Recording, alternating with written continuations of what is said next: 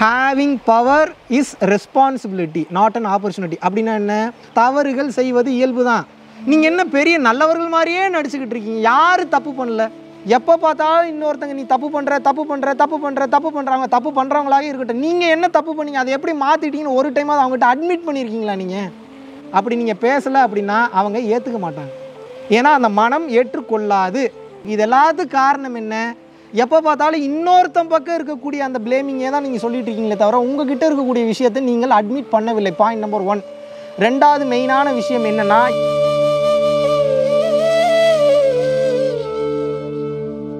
குருவே சரணம். ஐயா வணக்கம். நான் Mahavishnu brother Shivaratri online class attend பண்ணேன். இந்த அனுபவத்தை சொல்கிறதுக்கு வார்த்தைகளே இல்லை. உடலுக்குள்ளும் உயிருக்குள்ளும் பல மாற்றத்தை உணர்ந்தேன். என் பிறவி பயனை உணர்ந்து கொண்டேன். என் வாழ்க்கையில் பெரிய மாற்றத்தை உருவாக்கி கொடுத்த இந்த சிவராத்திரிக்கு அந்த எல்லாம் உள்ள இறைநிலைக்கு நன்றி. மகாவிஷ்ணு பிரதருக்கு நன்றி. உங்கள் அனைவருக்கும் கோடான கோடி நன்றி. என் அனுபவங்களை சொல்வதற்கு வார்த்தைகளே இல்லை ஐயா. ஒவ்வொருவரும் இந்த வகுப்பில் கலந்து கொண்டு வாழ்க்கையில் மாற்றத்தை பெற வேண்டும் என்று எல்லாம் எல்லாம் இறைவனை வேண்டிக் கொள்கிறேன். உங்கள் அனைவருக்கும் கோடான கோடி நன்றி ஐயா. குருவே சரணம். குருவே சரணம். அனைவருக்கும் வணக்கம். பெரும்பாலான குடும்பங்களில் மேக்சிமம் சண்டை வர்றதுக்கு என்ன மெயினான காரணம் அப்படின்னு வந்து கேட்டிங்க அப்படின்னா அவர்கள் ஒவ்வொரு நாள் நடக்கக்கூடிய விஷயத்தை அடுத்த நாளுக்கு அப்படியே கேரி பண்ணிட்டு போகிறாங்க கேரி பண்ணிட்டு போகிறாங்கன்னா என்ன? ஞாபகம் வச்சுக்கிட்டே இருக்காங்க. நிம்மதியாக இருப்பதற்கும் சந்தோஷமாக இருப்பதற்கும் ஒரு மாபெரும் உபதேசம் மாபெரும் தத்துவம் ஒரு மாபெரும் புரிதல் ஒரு மாபெரும் விளக்கம் என்னென்னா சித்தர்கள் மகான்கள் முனிவர்கள் சொல்லக்கூடிய ஒரு அற்புதமான விஷயம் மறந்து விடு. மன்னித்து விடு. உங்களால் மறக்க முடியலனாலும் பரவாயில்ல அட்லீஸ்ட் மன்னிக்கிற தன்மைக்காக முதல்ல வாங்க. நீங்கள் மன்னிக்கிற தன்மையிலே இல்லை அப்படின்னா அது உங்களை கொஞ்சம் கொஞ்சமாக கொள்ளும் இதில் மாற்று கருத்தே கிடையாது. இதில் பொதுவாக குடும்பத்தில் எப்படி அப்படின்னா உடலளவுலேயும் மனதளவுலேயும் மனதளவுலையும் ஒன்றா நீங்கள் உங்கள் கணவனோடையோ அல்லது மனைவியோடையோ நீங்கள் ஒன்றாக சேரும்போது ஒரு கட்டத்துக்கு மேலே அது எப்படி போகும் அப்படின்னா ரெஸ்பெக்ட் எல்லாம் மறந்து உரிமை எடுக்க ஆரம்பிப்பீங்க அவங்க மேலே. ஏன்னா அவங்க குடுமி உங்கள் கையில் கிடச்ச மாதிரி தானே. இப்போ ரோட்டில் போகிற ஒருத்தனை கூப்பிட்டு வாடா நில்றா நான் சொல்கிறத கேள்றானே வேணா கேட்பானா போடா லூசுன்ட்டு போயிடுவான் ஆனால் இதுவே உங்கள் புருஷனோ பொண்டாட்டியோ அப்படின்னா உங்கள் மேலே தப்பு இருந்தாலும் சரி இல்லைனாலும் சரி சும்மாவது கூப்பிட்டு நிப்பாட்டி வச்சு கேள்வி கேட்குறதுக்கு உங்களுக்கு உரிமை இருக்குது ஏன் இருக்குது அந்த குடுமி இப்போ உங்கள் கையில் கிடச்சிருச்சு. ஆனால் having power is responsibility not an opportunity அப்படின்னா என்ன? உங்ககிட்ட ஒரு அதிகாரமும் ஒரு வலிமையும் இருக்குது அப்படின்னா அது பொறுப்புணர்வு. அதை வாய்ப்பாக பயன்படுத்தி ஆடணும்னு நீங்கள் நினைக்கக்கூடாது. ஆடணும்னு நினச்சிங்கன்னா உங்கள் குடும்பத்தை நீங்களே கெடுத்துக்கிறீங்கன்னு அர்த்தம். உங்கள் தலையில் நீங்களே ஒரு லோடு மண்ணை வாரி கொட்டிக்கிறீங்கன்னு அர்த்தம். மைண்டில் வச்சுங்க இதை நல்லா. இதில் நீங்கள் புரிஞ்சுக்க வேண்டியது என்னென்னா தவறுகள் செய்வது இயல்பு தான். நீங்கள் என்ன பெரிய நல்லவர்கள் மாதிரியே நடிச்சுக்கிட்டு இருக்கீங்க. யார் தப்பு பண்ணல? அவ்வளோ நல்லவரா நீங்கள் ஒவ்வொரு மனிதர்களுக்குள்ளேயும் அவ்வளோ கெட்ட குணங்கள் இருக்குது அதெல்லாம் களைவதற்காக தான் இந்த மனித பிறவி என்பதை கொடுத்துருக்காங்க. ஆல்ரெடி எத்தனையோ வீடியோவில் சொல்லியிருக்கேன் இல்லையா? ஆணவம் கண்மம் மாயைன்றாங்க. இதை பிரித்தோம்னா பத்து விதமான துர்குணங்கள் சொல்லியிருக்கோம். காமம் குரோதம் லோபம் மோகம் மதம் மார்ச்சரியம் டம்பம் தர்ப்பம் ஈருஷை அசுகின்ற பத்து விதமான துர்குணங்கள் இருக்கிறதுனால தான் மனுஷனாகவே பிறந்திருக்கீங்க. அந்த துர்குணங்கள் இல்லைன்னா எப்போயோ நீங்கள் மகானா மாறியிருப்பீங்க. எப்பயோ சித்தனா முத்தனா நீ உயர்ந்த நிலைக்கு நீங்கள் போயிருப்பீங்க. அது முடியலன்றதுனால தான் இன்னும் இந்த உலகத்தில் வாழ்ந்துட்டுருக்கீங்க. உலகம் ஃபுல்லாக அந்த பூமி ஃபுல்லாக இருக்கிறவங்களே நான் மீன் பண்ணுறேன் எல்லாரையும் தான் சொல்கிறேன் அப்படி இருக்கும்போது குடும்ப வாழ்க்கையில் எப்போ பார்த்தாலும் இன்னொருத்தங்க நீ தப்பு பண்ணுற தப்பு பண்ணுற தப்பு பண்ணுற தப்பு பண்ணுறாங்க தப்பு பண்ணுறவங்களாக இருக்கட்டும். நீங்கள் என்ன தப்பு பண்ணீங்க அதை எப்படி மாற்றிட்டீங்கன்னு ஒரு டைமாவது அவங்ககிட்ட அட்மிட் பண்ணியிருக்கீங்களா நீங்கள் அப்போ எப்படி அவங்க அவங்கக்கிட்ட இருக்கிறது அதே மனசு தான் உங்ககிட்ட இருக்கிறது அதே மனசு தான் அவங்க பெண்ணாக இருக்கிறதுனால மனம் வேறு மாதிரி செயல்படும். நீங்கள் ஆணாக இருக்கிறதுனால மனம் வேறு மாதிரி செயல்படும்லாம் நினைக்காது. மனம் என்பது ஒரே மாதிரி தான் செயல்படும். அதில் மாற்று கருத்தே கிடையாது. உடல் அமைப்புக்கு தகுந்த மாதிரி அவங்களோட பிலீஃப் சிஸ்டம் வேணால் மாறலாமே தவிர உடல் வாகுக்கு தகுந்த மாதிரி அவங்களோட ஸ்டோரேஜ் கர்ம பதிவுகள் வேணால் டிஃப்ரெண்ட்டாக இருக்கலாமே தவிர மனம் செயல்படுவது ஒரே மாதிரி தான் எப்படி?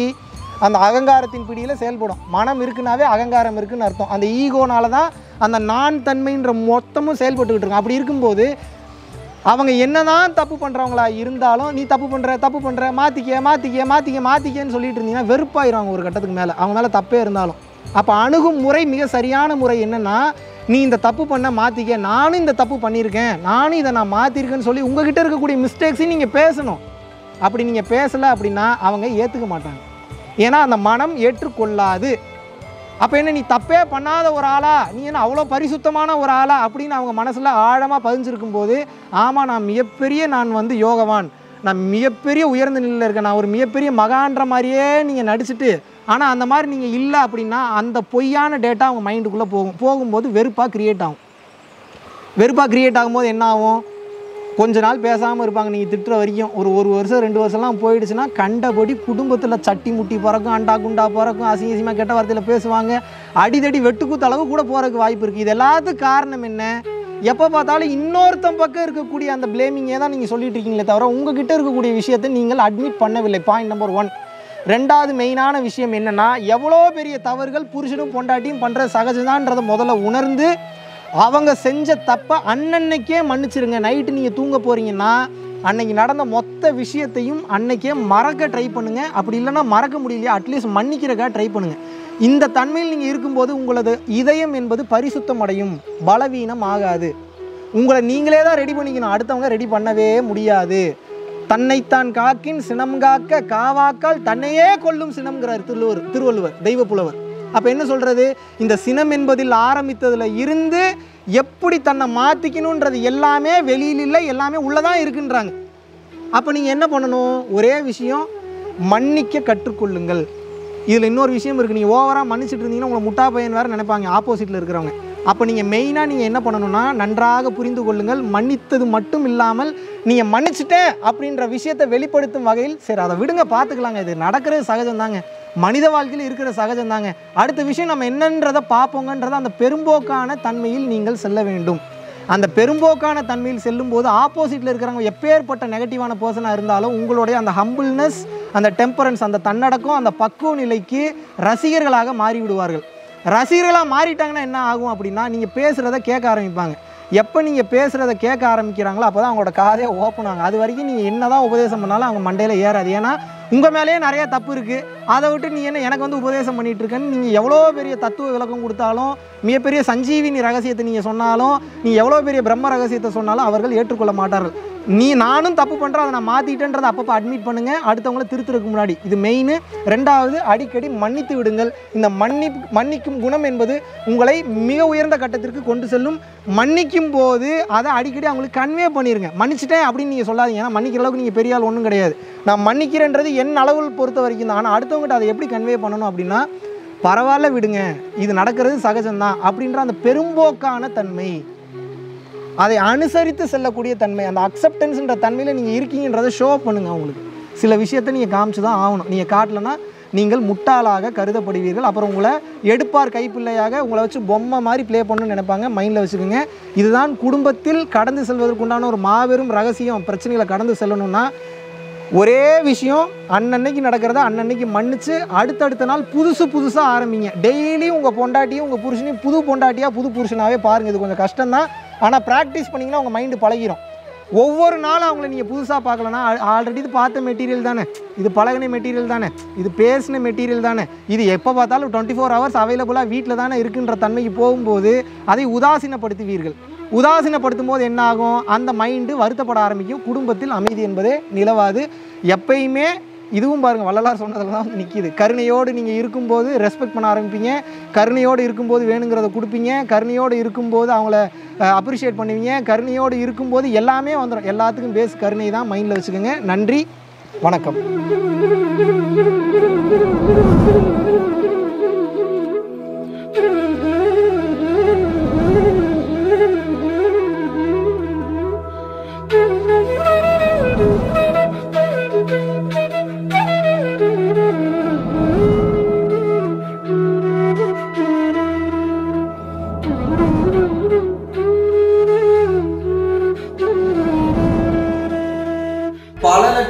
மக்களுக்கு உணவளித்து அவர்களுடைய பசிப்பினியை ஆற்றுவதற்குண்டான ஒரு மாபெரும் வாய்ப்பை அந்த பிரபஞ்சமும் மக்களாகி நீங்களும் இன்றைக்கு வந்து நமது அறக்கட்டளைக்கும் அறக்கட்டளையினுடைய நிர்வாகிகளுக்கும் மற்றும் தன்னார்வ தொண்டர்களுக்கும் நீங்கள் வழங்கியிருக்கின்றீர்கள். அதன் மூலியமாக பல உயிர்களுக்கு வந்து அன்னதானம் பண்ணிட்டு இருந்திருக்கோம். பல உயிர்களுக்கு வந்து பார்த்தீங்கன்னா வஸ்திர தானம் துணிமணி எடுத்து கொடுத்துருந்துருக்கோம் பல உயிர்களுக்கு கல்வித்தொகை கட்ட முடியாத பல நபர்களுக்கு வந்து பார்த்தீங்கன்னா கல்வித்தொகை கட்டி வச்சிருக்கோம் அது போக ஸ்போர்ட்ஸ் கோட்டால நல்ல லெவலில் ரீச் ஆனவங்களுக்கு ஸ்போர்ட்ஸ் கோட்டால நல்ல லெவலில் வரணும்னு சொல்லி அவங்களுக்கு ஸ்பான்சர்ஷிப் பண்ணி அடுத்தடுத்த கட்டத்துக்கு வந்து அமைச்சு வச்சிருந்திருக்கோம் ஃபுட்பாலில் நேஷனல் லெவலில் பரம்பொரு ஃபவுண்டேஷனுக்கு நன்கொடையாக நீங்கள் அனுப்பும்போது உங்களால் எவ்வளோ முடியுமோ அவ்வளோ இவ்வளவுதான் பண்ணணும் அப்படின்ற நிர்பந்தம் கிடையாது. உங்களால் எவ்வளோ முடியுமோ அவ்வளவு நீங்கள் அனுப்பும்போது இன்னும் பல உயிர்கள் வாழ்வில் மிக சிறந்த நிலை அடையும் அந்த புண்ணியம் நிச்சயமாக உங்களுக்கு வந்து சேரும்.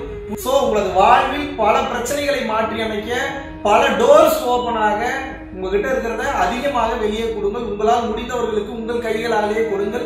இந்த ஞானமும் இந்த தானமும் இரண்டும் இரண்டு கண்களாக பரம்பொருள் அறக்கட்டளைக்கு எப்போதும் செயல்பாடாக இருக்கும். அதற்கு உங்களால் முடிந்த பண உதவியையோ அல்லது பொருள் உதவியோ நீங்க செய்யணும்னு விருப்பப்படுறவங்க ரெகுலர் பேசிஸ்ல பண்ணும்போது இந்த ஃபவுண்டேஷனை அடுத்த கட்டம் மக்களுக்கு உதவுவதற்காக நாம் நடத்தி கொண்டு செல்லலாம். நன்றி வணக்கம்.